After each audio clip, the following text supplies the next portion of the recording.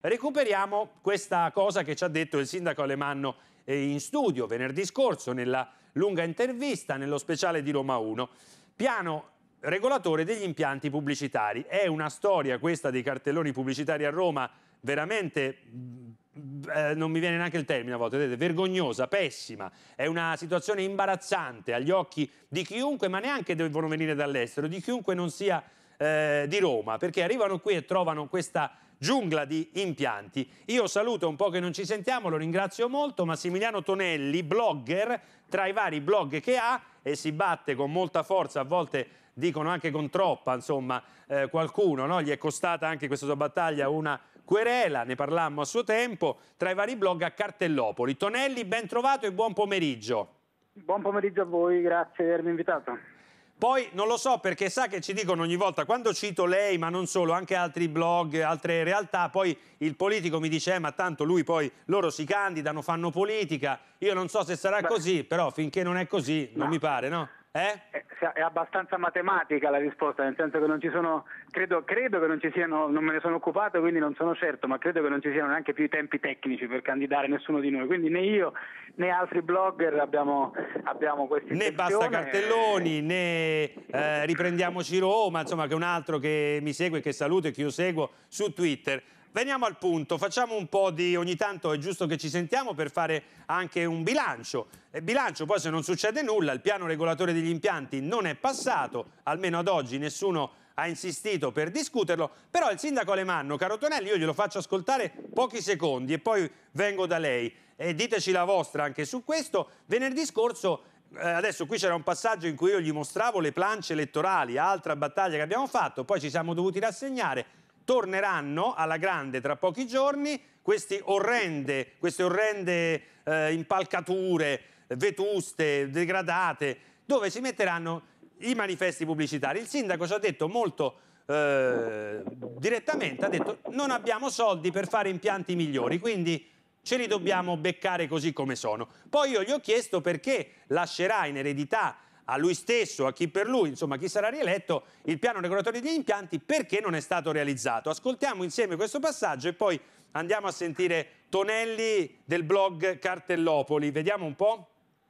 Noi speravamo che per le amministrative arrivassero nuovi impianti. Se ho magari... un euro lo uso per le strade, non lo uso per i bandoni. Io si fanno un po' schifo, mi rendo conto che dobbiamo fare. Eh, però i marciapiedi, i buchi, quelli Qua... li ripara l'amministrazione sì, purtroppo. Quello, eh? sì, quello sì, quello sì. Però, eh, però quando ci saranno i manifesti sopra saranno un po' meno brutti, dai. Eh, allora, eh, invece per quanto riguarda il PRIP... Il PRIP il, perché non siete riusciti piano, a farlo? Insomma. Perché da tre anni a questa parte, forse da cinque, ma diciamo negli ultimi tre anni è stata veramente grave, c'è un'opposizione ostruzionistica del centro-sinistra che ogni delibera ce li fa mh, veramente sudare eh, le sette camicie, che ogni delibera, anche quella più scontata, ha bisogno di eh, riunioni, riunioni eh, ehm, adunanze dell'assemblea dell capitolina perché c'è un ostruzionismo pazzesco. Noi ci continuiamo a fare queste convocazioni, arrivano centinaia di migliaia di emendamenti all'ordine del giorno e c'è un ritardo pazzesco. Noi abbiamo detto più volte siamo pronti a approvare anche in un'ora il PRIP si potrebbe fare anche adesso perché ci vengono ancora... anche in estremis ah, anche in estremis anche... e perché non lo potete fare adesso? perché l'opposizione si oppone l'opposizione? certo l'opposizione su ogni cosa anche le cose più scontate anche il, la modifica del regolamento edilizio per il risparmio energetico presenta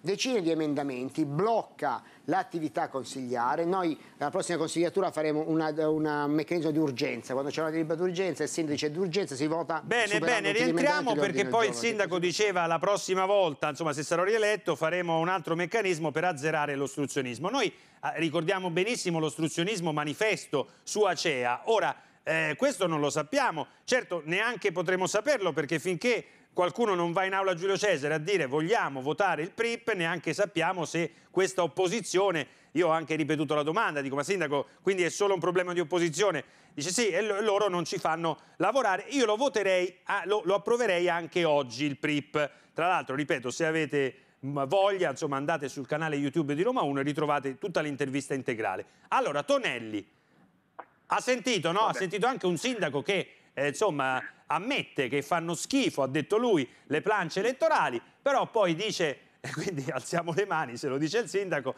eh, però poi dice io il PRIP eh, lo, lo, voterei anche oggi. Come stanno le cose dal vostro osservatorio? Chi non vuole il piano regolatore degli impianti e secondo lei a chi fa comodo? Perché l'idea che abbiamo sempre avuto, che condividiamo con voi, è che sia un po' trasversale questo interesse. Però bisogna prendere atto anche delle dichiarazioni di Alemanno. Allora, che ne pensa Tonelli?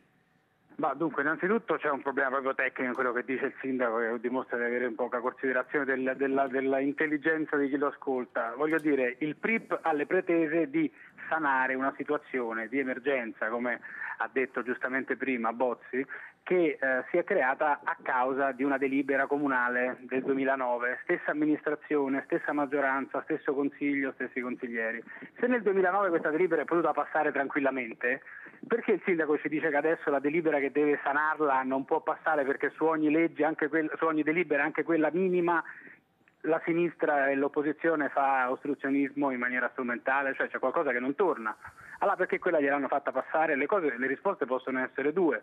O perché, sono, o perché, il sindaco mente, quindi non è vero che ci sarebbe questa opposizione, tant'è che la, la delibera è ancora è stata calendarizzata ma non è ancora entrata in aula, oppure perché le due forze politiche principali del Consiglio Comunale su questo tema sono uh, consociate, c'è un consociativismo pazzesco e sono vere entrambe le risposte. La terza invece cosa importante, altrettanto vera, è che comunque anche se il PRIP passasse non, sarebbe, non ci sarebbe nulla di sanato. Perché ecco perché, perché anche... spieghiamo adesso senza andare nel dettaglio perché qua poi ci perdiamo, è complicatissimo, i telespettatori soprattutto a quest'ora credo no? hanno meno insomma, voglia di capire ma senza farci girare a noi stessi per primi la testa. Perché però la sintesi di Tonelli dice se anche domani lo andassero a provare noi non dovremmo gioire. Perché? Aspetta, perché no. non abbiamo detto che voi stimate eh, 60.000 impianti abusivi a Roma?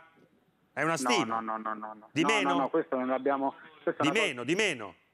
È una cosa che non abbiamo mai detto perché sono molti di più. Ah, Se noi prendiamo questa cifra, no, noi, noi, ne stimiamo 250.000, tra 200 e 250.000. Ah, vabbè, voi addirittura così. Comunque io intanto faccio vedere anche la galleria degli orrori qua dal sito, dal blog Cartellopoli. Allora, perché non dovremmo gioire se fosse approvato oggi e, che, e, che, e invece che cosa andrebbe messo nel PRIP? Speriamo, speriamo magari domani, no? chi vincerà le elezioni, insomma, la prossima legislatura. Ma il PRIP nasce con una logica che non è una logica Mandato, che punta a risolvere scusa. il problema, è una logica che punta a sanare una situazione completamente anomala. Quindi questa è la logica politica a ombrello su tutto quanto il PRIP. Inoltre ci sono una serie infinita di errori che tutti i blog che si occupano di questa faccenda hanno segnalato e che l'amministrazione si è, si è dimostrata non, non, nelle volontà di, eh, di correggere. Poi il PRIP è, è sostanzialmente una delibera di indirizzo cioè non ci sono dentro dei contenuti che attuano le norme, quelli vengono demandati in un secondo momento senza nessun tipo di, eh, senza nessun tipo di data, cioè il PRIP sostanzialmente dice eh, queste cose vanno fatte in questo modo e questo modo neanche va bene eh, e, e, questo modo verrà attuato quando delibereremo i vari piani particolareggiati sul territorio, senza però dare una scadenza a questi piani che potrebbero essere poi procrastinati sine die eh, in, all'infinito.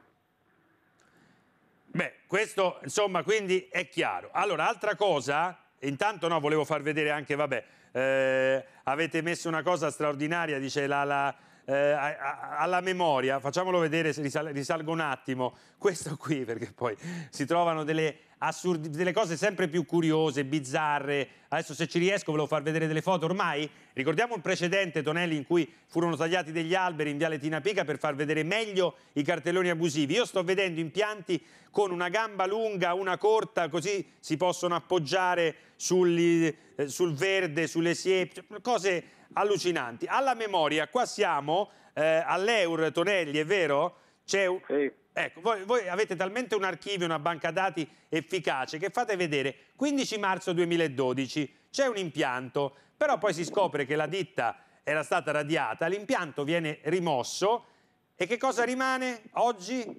Questo scheletro. Eh, perché? Boh, perché se lo sono dimenticato, perché? Ma sì, ma poi queste ditte radiate sono anche questa un'altra un'altra faccenda. Diciamo che tut, su tutta la faccenda non dovrebbe più occuparsi la politica, noi lo stiamo dicendo da tempo, ma se ne dovrebbe occupare la magistratura. Per ora la magistratura si occupa, come prima avete detto, dei blogger che, con, che contrastano questo fenomeno. Però la magistratura, se vuole, può continuare a occuparsi dei blogger, ma dovrebbe però in parallelo anche occuparsi di questa faccenda, perché veramente, come ha detto in premessa lei, Bozzi, è veramente una cosa che non ha eh, è difficile trovare aggettivi. Non ha uguali nel mondo, scandalo, anche in quello meno sviluppato, anche in quello meno Noi sviluppato. dei pazzi a dirlo, magari sembriamo esagerati, ma è veramente uno scandalo, è una roba da un miliardo di euro all'anno di soldi che girano su questo settore, cioè una, è, una, è, una, questione che dovrebbe avere la stessa attenzione del traffico certo. di armi, del traffico di ecco, droga. E allora quello che mi preme chiedere, poi la salutiamo, intanto guardate quest'altra galleria, ripeto, degli orrori, noi ormai siamo assuefatti a una città dove ovunque ti giri trovi questi impianti senza più un minimo di logica, estetica, razionale, cioè è solo una macchina da soldi per chi li mette, che invece insomma è una macchina che leva soldi evidentemente anche a chi vive di pubblicità, come noi, come tanti giornali, tanta free press, tanti anche siti online, no? Vanno lì e si creano situazioni così incredibili. Però quello che volevo chiederle è, in conclusione, voi avete, voi basta cartelloni che saluto, cittadinanza attiva e altri, no? In questi giorni mi pare di capire che siete disponibili a parlare con i candidati che vogliano recepire le vostre eh, indicazioni perché siete sul campo, coraggiosamente ci mettete la faccia, coraggiosamente, perché non è che tutto sia così rose e fiori in questo eh, ambiente, chi è che vi sta ascoltando? C'è qualcuno che sta dicendo lo metto in cima, adesso magari in cima no, ma lo metto sì, tra le priorità del mio eh, manifesto elettorale. C'è qualcuno, c'è qualche segnale positivo oppure eh, dobbiamo restare così, legati a voi volontari e a noi anche quando facciamo questa battaglia? I segnali sono abbastanza preoccupanti perché eh, noi abbiamo fatto un'analisi attenta ad esempio in occasione delle primarie che sono state il fatto politico più recente dell'ultima settimana sui, uh, sui programmi dei, dei, candidati, dei sei candidati del centro-sinistra e nessuno di questi uh, portava un'attenzione un su questo tema che è una delle emergenze invece della città ed è molto grave. Per quanto riguarda tutti gli altri candidati analizzeremo adesso quando sarà chiaro il quadro di, come, di, di chi correrà insomma, per le comunali di fine maggio, analizzeremo tutti i programmi e poi sui nostri blog faremo come al solito il pagellone rispetto ai nostri, ai nostri temi.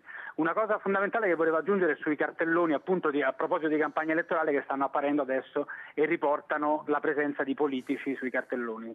In nome della trasparenza che c'è sempre più di moda in questo momento in politica sarebbe veramente importante che i politici che utilizzano quegli impianti, magari gli stessi politici che gli hanno dato le concessioni, perché ho visto degli impianti, eh, abbiamo pubblicato delle foto degli impianti dell'assessore eh, Bordoni, che è l'assessore al commercio che sovraintende Eccolo qua, mostriamo sarebbe... la foto da un altro vostro post-it. Voto, eh, ecco, questo sul... sarebbe veramente un, un passo strepitoso. cioè, voi state, aspettate un attimo, cioè, Tonelli sta dicendo, per la trasparenza, per la legalità, non sono obbligati a farlo, ma sarebbe bene, forse, che sia Lemanno che agli altri assessori, ma io dico pure perché no, anche, anche la sinistra, anche, anche la sinistra, perché se non è corresponsabile nei fatti perché non ha governato, lo è perché non mi pare che ci siano state mai alzate di scudi su questo e me ne assumo la responsabilità. L'abbiamo detto, prima e l'abbiamo mai detto si è visto qualcuno, sono, sono non dico incatenarsi, ma stracciarsi le, le vesti ecco, per, per, per questo tema, sarebbe bello che sul loro sito ognuno scrivesse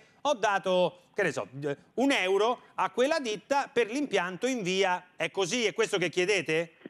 Eh sì, perché Bozzi sa, c'è il sospetto che questi cartelloni durante la campagna elettorale vengano dati diciamo, con un eh. prezzo di favore a questi, a questi, politici, visto che sicuramente non sarà così e sicuramente questi no, politici certo. li acquisteranno a prezzi regolari, come tutti gli altri clienti non avranno nessun favore poi da ridare in cambio in termini di delibere, in termini di, di occhi chiusi e quant'altro a livello di controllo, allora lo, lo, potrebbero tranquillamente dimostrare, ormai tutti i politici hanno una pagina Facebook, un sito, pubblicano la loro bella fattura di acquisto degli spazi, il bel bonifico eh, della, del pagamento e quindi siamo tutti tranquilli che quando poi vanno in aula a votare, se magari votano come è successo a favore di questa invasione di cartelloni, lo fanno perché credono veramente che serva qualcosa e non perché hanno avuto un regalo prima. Anche perché, e così chiudiamo davvero, io non so se Tonelli lo sa, ma insomma noi eh, come televisione, come emittente locale, vale per le radio, ed è giusto che sia così, godiamo eh, no, godiamo, eh, insomma, eh, dobbiamo seguire un regolamento sulla par condicio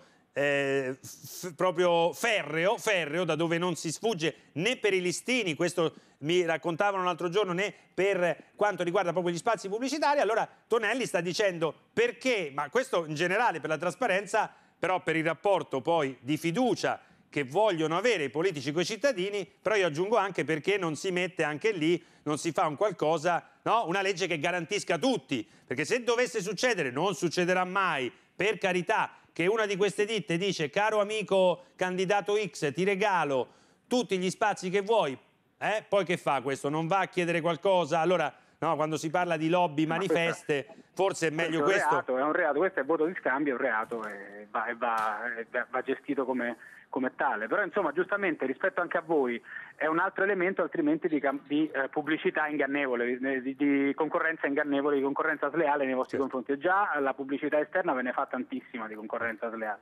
Certo. Grazie Tonelli. Eh, Grazie. Anche qua insomma ci risentiamo a breve, quando volete. Eh? Grazie. E seguite questi blog Cartellopoli, basta cartelloni, mi fermo qua, ce ne sono molti altri. Allora, telespettatori che vogliono intervenire, eh, non so su quale argomento perché abbiamo toccato un sacco di temi anche oggi, siamo molto contenti di averlo fatto e soprattutto delle cose positive che oggi vi abbiamo detto, non queste ultime magari, però. Pronto? Buon pomeriggio? Sì, Pronto? Buon pomeriggio, anche a lei io per esempio l'ascolto sempre, no? Grazie. E dico, voi conduttori eh, di telecomunicazioni e carta stampata dovreste sempre, anche in maniera feroce, combattere questo malcostume perché tra gli, eletti, tra gli, eletti, si fa la guerra per essere eletti, no? però nessuno si batte per far firmare un codice etico, il primo che sgara, via. Adesso vediamo anche il caso di questa amministrazione comunale che non è esente da pecche perché noi abbiamo avuto i piccoli, abbiamo avuto l'amministrazione dell'ATAC, insomma molto chiacchierate, no? Però troviamo la carta stampata e anche qualche conduttore che li difenda a spada tratta. Ogni, quando si mergano le critiche, chiunque sia, destra, sinistra, centro, c'è bisogno di menare, far firmare un codice etico a tutti gli eletti che come sgari vai a un calcio nel sedere perché la gente si è stufata, Vede, adesso noi parliamo dei cartelloni, ma è una vita che si parla di cartelloni, ci saranno delle convenienze, no? Eh. Qualcuno ci guadagnerà qui, no? Eh, Però vede allora qual è poi il signore è molto... Io la, la, l'apprezzo, l'apprezzo, per la sua, anche per lei si sente la, la voglia di legalità, no? Di, di, la, Ma tanta legalità. Lo slancio civico, come si chiama lei? Come si chiama? Saverio. Ecco, volevo dire Saverio? Sì. Il confine poi, vedi, bisogna stare, siccome i politici poi sono sempre molto diciamo permalosi, ma non è questo il punto, sono molto... Aspetti, no, no, aspetti Saverio, sono, sono, sempre pronti poi eh, a, a, reagire se c'è poco poco una, eh, un qualcosa che non corrisponde al vero, questo lo capiamo, quindi voglio dire, il confine tra fare informazione, andare oltre, ma poi eh, andare anche, scadere anche in una generalizzazione che può fare danni, questo noi cerchiamo sempre di rispettarlo, ha capito? Quindi sì, a me poi non mi piace mai, non piace mai, quando la gente la mette tutta, la butta, si dice a Roma, in caciara, sì, no? Sono tutti ladri. Intanto... No, questo non esiste, esiste che esistono persone oneste e persone disoneste. Ma esistono... posso dire eh. una cosa? Certo. Io capisco che c'è, molto difficile amministrare una città tipica come Roma. Certo, e come facile non è, certo. altre città, no?